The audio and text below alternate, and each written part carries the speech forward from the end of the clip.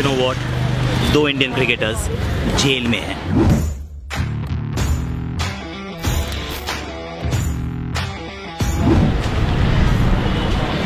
विराट की आँखें बिल्कुल लाल थी। हमने तो कहा था मत खेलो, लेकिन वो खेला।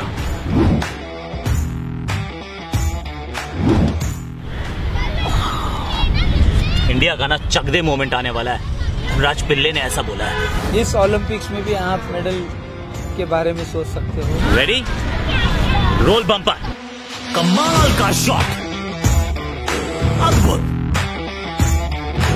इसके आगे सारे फेल हैशटैग आकाशवाणी वैसे कल आपका बहुत सारा प्यार मिला तो हमें प्रोत्साहन मिला लेकिन हम बात करें स्पॉट फिक्सिंग की मैच फिक्सिंग की।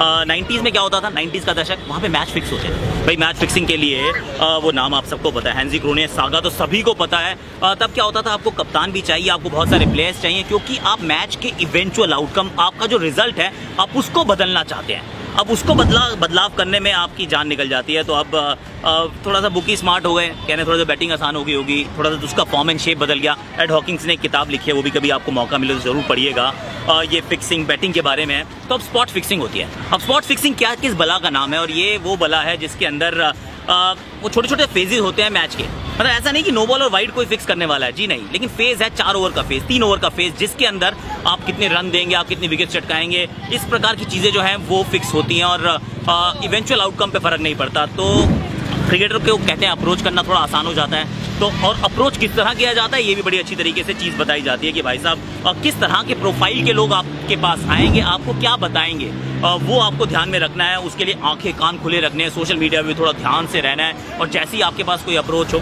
यही तो बात थी शाकिब अल हसन की। अप्रोच हुई, एक बार नहीं तीन तीन बार हुई, लेकिन जनाब ने अप्रोच को इन्फॉर्म नहीं किया। एक साल का बैन है और एक साल का सस्पेंडेड तो you know that it is really really और डॉजी बिज़नेस अगर आपने, आपको अप्रोच हुई और आपने किसी को नहीं बताया अब इसमें जो मेरी जो बड़ी समस्या है ना, देखिए अंतर्राष्ट्रीय क्रिकेट अभी भी थोड़ा सा मुझे लगता है इंसुलेटेड है। ये जितने सारे इंसिडेंट्स होते हैं, कब से हो रहे हैं, इसका majority of incidents are happening जब से टी ट्वेंटी लीग शुरू हुई है और बहुत सारी।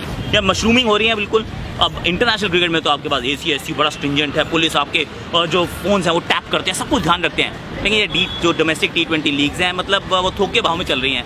वहाँ पे कितना कोई स्ट्रिंजेंट होता है, वहाँ पे एक ड्रमर होता है, वो आपको कुछ बोल देता है। हैपन ना कर्नाटक प्रीमियर लीग में। तो ये जो छोटी छोटी लीग्स हैं इसमें संभलना ज़रूरी है, संभालना ज़रूरी क्योंकि गौतम गौतम और अबरार काजी, ये दो लोग हैं जो जेल में हैं।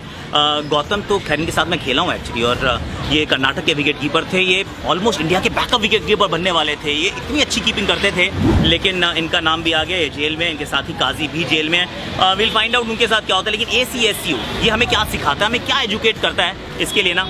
रजत भाटिया, अपना भाटिया साहब, दस साल खेले हैं ये आई पी एल दस साल।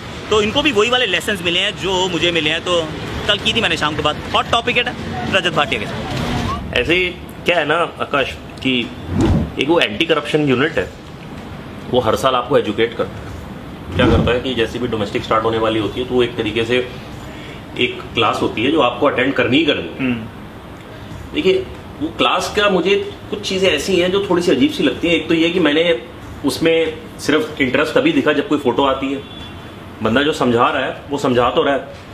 पर जिस इंटरेस्ट से आप उस क्लास को लेते हो ना वो थोड़ा सा मुझे ठीक नहीं लगा। अच्छा समझाते क्या कि जैसे आ, अपना वो जो तुम्हारे इतने सोशल मीडिया अकाउंट्स हैं इस पे तुम्हें कोई अप्रोच करेगा कोई आके गिफ्ट देगा आ, कोई आके और कैसे कैसे यही यही तरीके होते हैं ना कि आज का कि अरे अरे मैं आपका बहुत बड़ा फ़ैन हूँ मैं आपको ये ये पेन देना चाहता हूँ ये बैग देना चाहता हूँ। इसी तरीके से अप्रोच करते हैं फिर आपको इन्फॉर्म करना पड़ता है। बहुत सारी चीज़ें ये भी कि आप सोशल मीडिया में नहीं डालिए आप किसी को ये ना बताइए आप किसी को वो ना बताइए। हम्म। आप ये चीज़ ना कीजिए। और कुछ ऐसी चीज़ें हैं जो नॉर्मली मुझे लगता है कि कुछ ऐसी सिचुएशंस हो, सकती हैं जिसमें बंदा फंस सकता है। Okay okay. अब मैं ये नहीं कहता कि सीएम गौतम ने सही किया है या अपरार काजी ने सही किया है जो भी इन्होंने किया है। बट अगर जो हमें दिख रहा है उसके पीछे भी कोई सच हो सकता है। हो सकता है कि वो ब्लैकमेल किए जाए। अब ये भी हो सकता है कि वो ऐसी सिचुएशन में फंस गए हों कि उनको ये करना पड़ा। ओके. देख, आकाश, मैं तो अपनी तेरी बात बताऊँगा। मुझे याद है 2012 के अंदर जब हम के के लिए खेल रहे थे। और हमारा मैच था जयपुर के अंदर। काफ़ी टाइम से एक बंदा मेरे को एक अप्रोच करे जा रहा था कि भैया, आप मुझे आपसे मिलना है, मैं कॉन्ट्रैक्टर आता हूँ। अब किसी के कहने पे मैंने कहा, यार भैया, देखो, ऐसा है। मैं नहीं मिलना चाहता।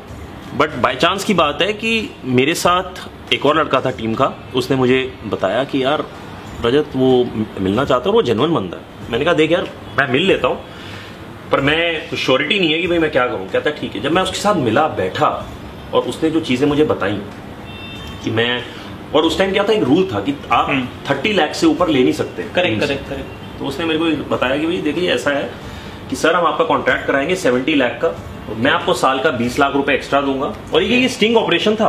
ओके ये एक स्टिंग ऑपरेशन था। जब मैं उस बंदे से मिला, उसके ऑलरेडी कैमरा लगा हुआ था बट मेरे को नहीं पता था कि कैमरा लगा हुआ है।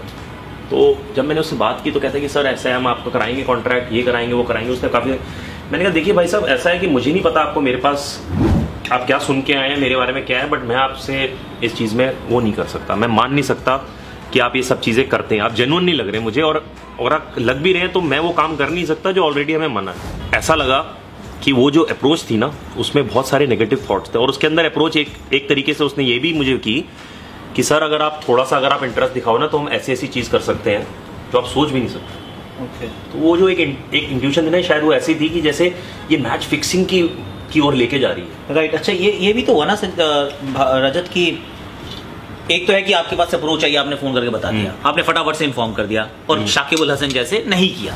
और नहीं किया तो भाई चलो आपने तो नुकसान उसका हुआ। और लेकिन अगर जैसे अब आपने बता दिया अपने सी को जी मुझे किसी ने अप्रोच किया और आई एम नॉट ओके पर आपका यही सवाल था ना कि ये सोच थी यार उसको तो कोई रिवॉर्ड रिवॉर्ड देता ही नहीं है मतलब यार, कि आप बता रहे हो ऐसा था कि हमारी एक मीटिंग चल रही थी। हम्म। उसमें किसी ने बताया कि यार कुछ ऐसे बंदे हैं जो आप मैंने कहा सर जो ऐसे बंदों की आप बात करें क्योंकि उसी टाइम हमें हिंट हो गया। हम्म।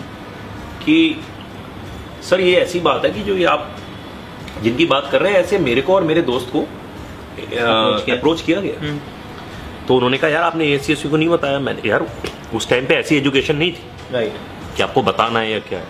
तो मैंने कहा ठीक है सर। कोई ज़्यादा दूर नहीं है एंटी करप्शन वाली यहीं घूमते रहते हैं रिसेप्शन पे। हमने उनको बुलाया हमने बताया। तो उन्होंने कहा क्या आपने इस चीज़ को एक्सेप्ट किया था? मैंने कहा नहीं सर। बट मैं ये कहूँगा कि यार जब कोई बच्चा फंसता है और फंसने के बाद वो इस चीज़ को नहीं बताता है तब तो आप देखते हैं क्या हो रहा है। साकिबुल हसन के साथ हुई हुआ। बट जब वो किसी चीज़ को एक्सेप्ट नहीं करता है और वो बताता है तो उसका रिवॉर्ड क्या है? उसकी एक्नॉलेजमेंट क्या है? हमने तो बताया ना ना ही किसी ने इस चीज़ की कोई एक्नॉलेजमेंट की ना ही कभी उन्होंने उन लोगों की तो आप फ़ोटो दिखा देते हैं कि भाई ये ये लोग हैं इन इन, इन लोगों को अप्रोच किया गया है। इन्होंने नहीं बताया। इन्होंने नहीं बताया? या फिर या फिर इन्होंने एक्सेप्ट कर लिया? बट उसका उन लोगों का क्या? जिन्होंने इस चीज़ को एक्सेप्ट नहीं किया और कहा कि नहीं यार और जेन्युइनली बता भी दिया। जेनुअनली बता भी दिया। तो ये बहुत ज़रूरी हो जाता है कि आप Correct. उसको ठीक तरीके से रन करो। चलो फिर ये सही है अब आप कुछ और खा ले यार। देख भाटिया घर पे आया ऐसा लगेगा कि प्लेट खाली नहीं होनी चाहिए। ये अच्छा है पता खा के देख ट्राई दिस इज़ गुड अच्छा अब अ, बात की थी ना कि चलिए भाटिया साहब से बात होगी ये मेरा दोस्त है सागर। सागर अच्छा फेवरेट क्रिकेटर कौन सा आपका इंडियन टीम का? विराट कोहली और रोहित शर्मा। विराट कोहली और रोहित शर्मा। कोहली के बारे में एक स्टोरी है वैसे। है ना? चलो बताता हूँ आपको। इनको ही बताता हूँ। आपको ही बताता हूँ। विराट कोहली। विराट कोहली।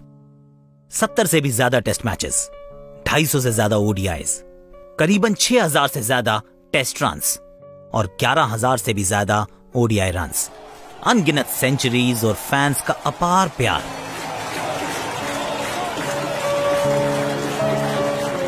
लेकिन वक्त हमेशा एक सा नहीं होता। कहानी है साल 2006 की, जब विराट केवल 18 साल के ही थे।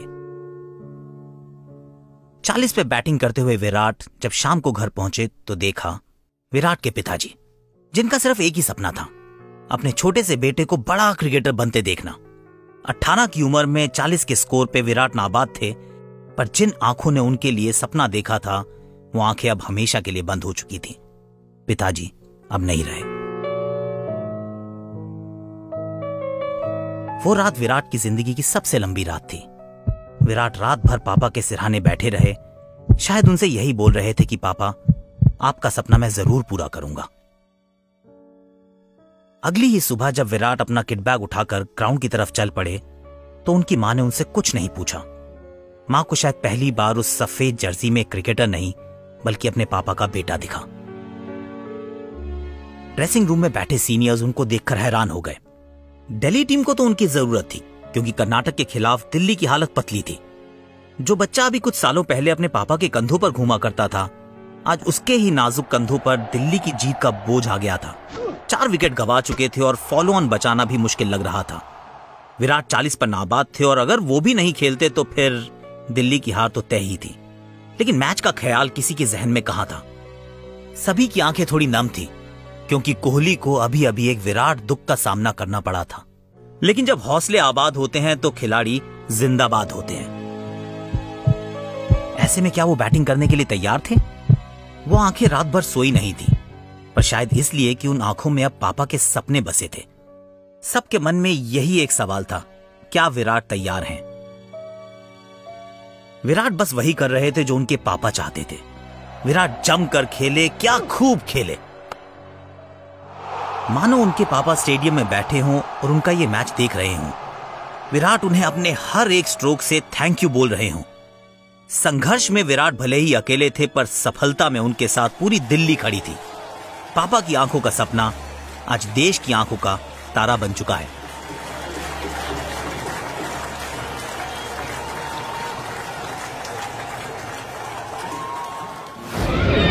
आँसू आ गए ना? उस दिन सुबह हम सब की आँखें भी ना थोड़ी सी नम थी। चलिए, लेकिन ये तो कोहली है। अब धनराज पिल्ले ने कहा है, चकते इंडिया अपना चांस है ओलंपिक्स में। बाजी से सुनते हैं।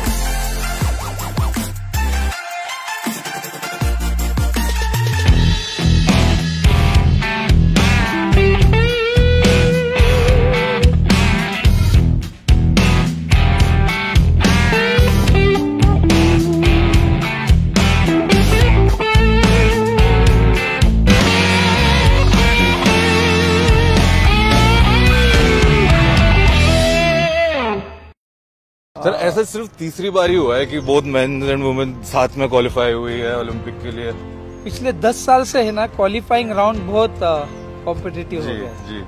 विमेन हॉकी के बारे में अगर आप पूछेंगे तो मुझे लगता है कि पिछले चार पाँच साल से अभी विमेन हॉकी बहुत अच्छा काम कर रहा है।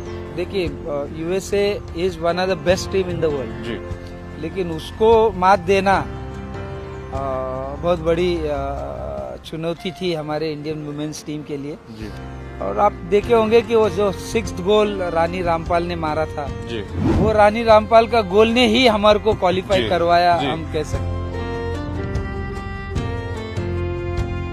मेंस की बात करें तो बहुत इजी मैच था मैं ये कह सकता हूँ। क्योंकि रशिया को इस बार हमने देखे जो फ़र्स्ट मैच उन्होंने खेला नो डाउट सेकेंड हाफ़ में थर्ड एंड फोर्थ क्वार्टर अगर आप देखोगे तो इंडियन टीम खेलना स्टार्ट किया जी।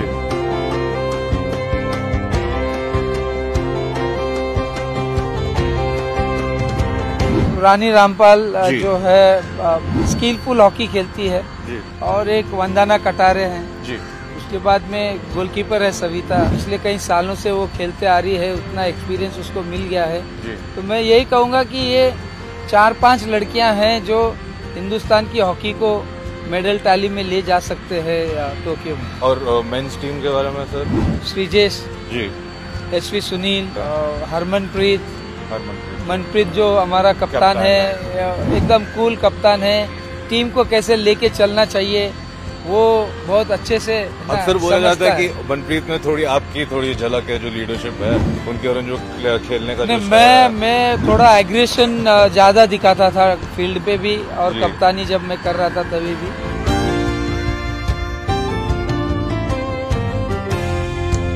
हिंदुस्तान का फिटनेस लेवल बहुत बढ़ गया है बहुत ज़्यादा। और खास करके मैं ट्रेनर्स और है ना जो उनकी कोचिंग स्टाफ है उनको मैं धन्यवाद देना चाहूँगा कि फॉरवर्ड लाइन पीछे आता है। जी जी डिफेंस में भी डिफेंस हेल्प में भी करता हेल्प करता है और विंगर्स में अटैक भी करते हैं साइड से? आकर तो मुझे लगता है कि ये एक बहुत पॉजिटिव साइन है इंडियन हॉकी के लिए। जी। बेल्जियम जैसी टीम या अर्जेंटीना वर्ल्ड चैंपियन या वो ओलंपिक चैंपियंस रहे हैं जी। इनके साथ हम लोग कॉम्पीट कर सकते हैं लेकिन हाँ कंसिस्टेंसी होना बहुत ज़रूरी है हमारे लिए। मैं भी चाहता हूँ कि जैसा आपने कहा कि है ना कहाँ गए वो दिन। मैं भी चाहता हूँ कि हमारी हिंदुस्तान की हॉकी टीम एक बार ओलंपिक चैंपियन वापस बने वर्ल्ड चैंपियन वापस बने और वो कंसिस्टेंसी के साथ में अगर हम खेलते रहें चार पाँच साल कंटिन्यूसली तो मुझे नहीं लगता है कि वो दूर है ना वो टाइम बहुत दूर है। इस ओलंपिक्स में भी आप मेडल के बारे में सोच सकते हो क्योंकि जैसी टीम है पिछले चार पाँच साल से ये टीम एक साथ है। मेरा तो मानना है कि है ना मैच बाय मैच खेलते जाइए आप। और रिज़ल्ट के बारे में सोचो मत कि आज क्या होगा क्या नहीं। If you are good enough result will come automatically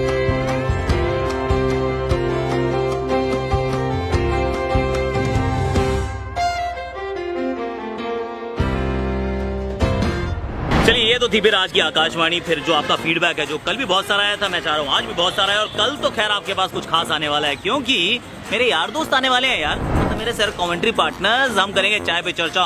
burning topic toss को टॉस कर दें, या संभाल लें। अभी के लिए जाता हूँ, भागना भी बचा है। आप देखो जरा वो बच्चों खेलते हुए, चलो।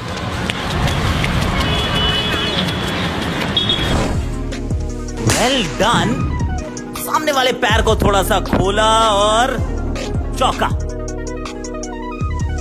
Watch the ball closely and that's what she did.